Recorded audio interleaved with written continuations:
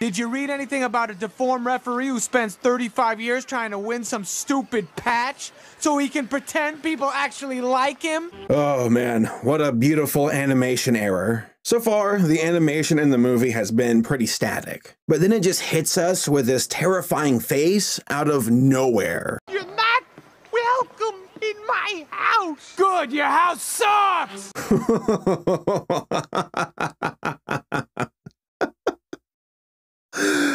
oh, whew.